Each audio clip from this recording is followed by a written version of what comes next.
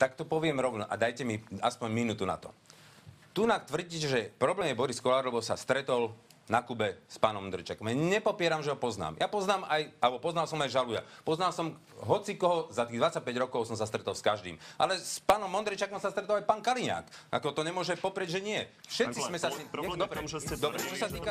Čo sa týka... No, no, no. You know what happened with the D.R.E.